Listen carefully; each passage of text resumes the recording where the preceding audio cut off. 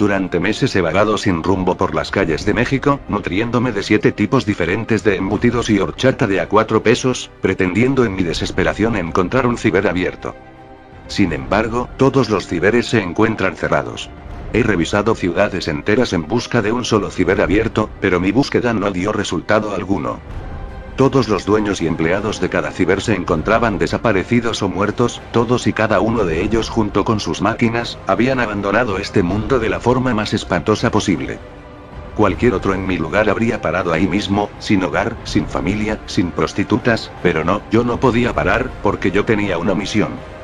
Yo había hecho una promesa, un juramento, yo, estaba comprometido, estaba decidido a proteger la sociedad, al país, al mundo, estaba decidido a luchar hasta el final, hasta acabar con aquel que está por encima de todo. Durante años dediqué mis esfuerzos a develar el entramado complejo de planes, trucos y argucias perpetradas por él. Durante años me dediqué a difundir cada una de sus mentiras, pretendiendo conseguir aliados en esta lucha, pero lo único que conseguí fueron enemigos. Cada día, la tarea era más difícil, y la meta se encontraba más lejos, sin embargo, pese a todo, yo nunca paré, pese a todo, jamás me rendí. Yo había hecho una promesa, un juramento, yo, estaba comprometido, estaba decidido, decidido a descubrir, decidido a conocer la verdad, y hacer que todos pudieran conocerla, para que todos los males paguen, para que los abusos se detengan, para darle paz a las cientos de víctimas que hay, para salvar a las miles que están por venir. Y ayer, finalmente, lo conseguí.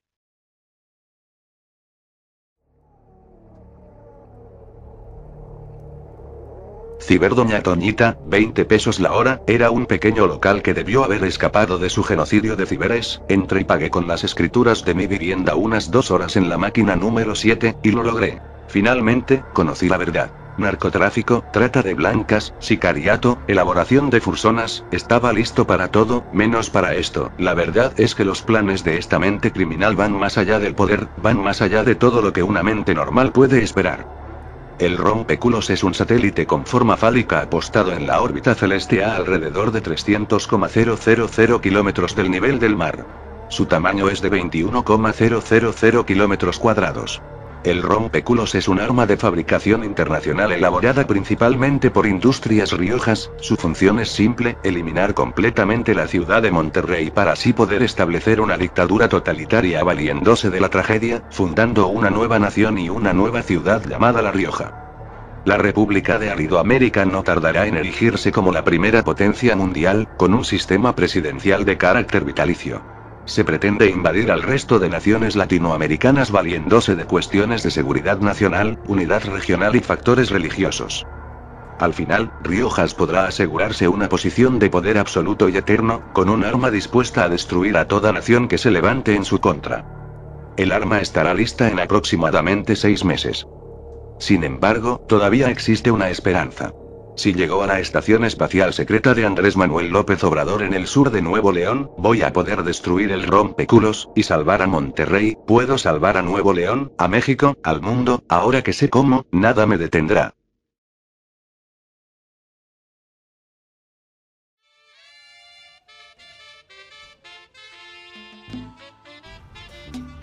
Hoy amanecí con el pito dormido así que no quiero que me molesten.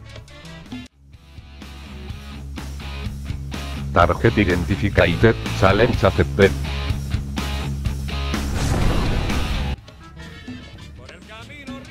Hay que llegar en chinga si no el Daniel se caga en todo Nuevo León, quizás solo compré un combo económico del Burger King antes de llegar allá nomás para matar el hambrecita.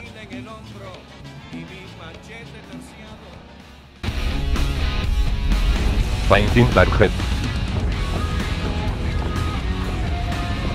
Burger King ya no es lo que solía ser, antes vendían comida y ahora venden mierda compacta, metida con la forma cuadrangular de la caja y todo, debe ser por el aumento de población hondureña, habrá que resolver ese tema después. Espera un segundo, ¿quién es ese conche sumaré baboso que se me pone enfrente? Target Identificated, Matar Mode Activate.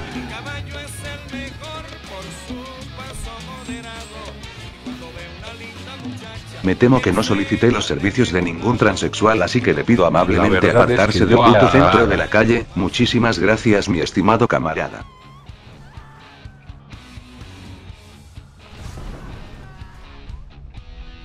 Me cogiste desprevenido bastardo. La gente cada día más pendeja, debe ser por el aumento de población hondureña, habrá que resolver ese tema después, otra razón más para llegar en chinga a la base anglo.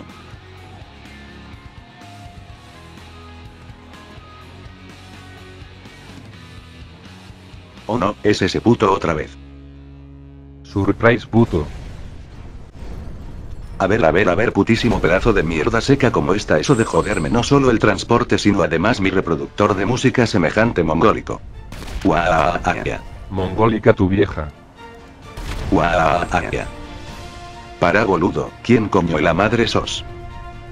Fui contratado por el diputado Daniel Alberto Riojas Peña para ponerte punto y final. Chingas a tu perra madre maldito bastardo.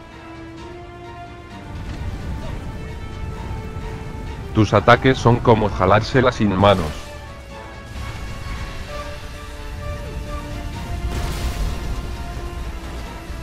No tengo tiempo para tus mamadas ahorita, caete de una vez y todo estará chingón.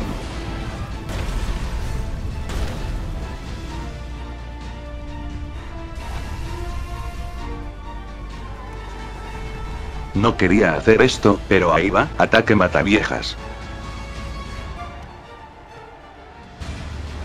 Maldito genio del mal esquivo el ataque mata viejas, supongo que es más veloz que la jubilada promedio. Discutamos esto de forma civilizada. Estaba por puto. Guaaaya. Déjeme en paz, señor. Esta por gay. Guaaaya. Esta por joto. Esta por cometradas. Guaaaya. Téngale, jaja con ese golpe ya no te levantas. Esta por homosexual. Y esta solo por mis huevos.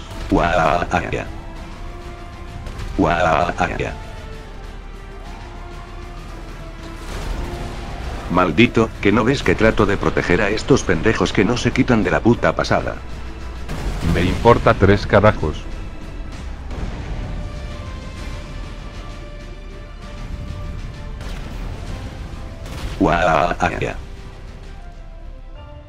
Tengo que levantarme.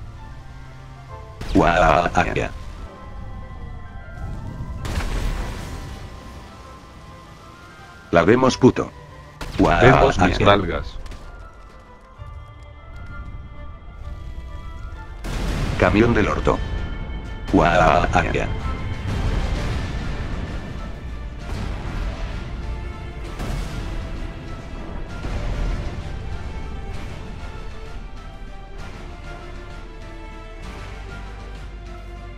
¿Ya te cansaste, maricón son?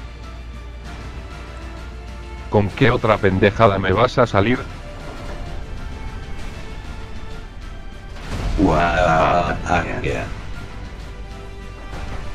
Asterisco tos asterisco. Bueno, esta es la parte donde el culo se te parte.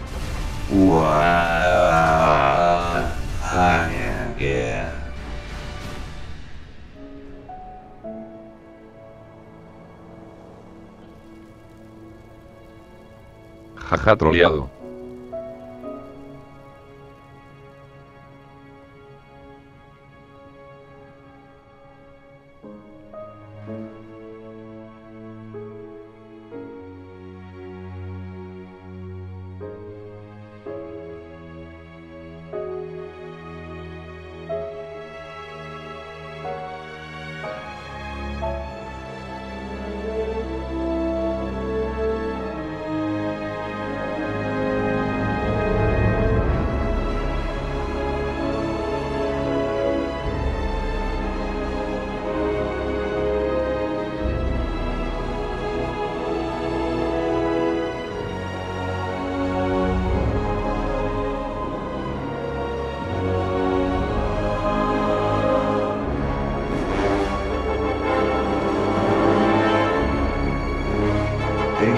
Levantarme.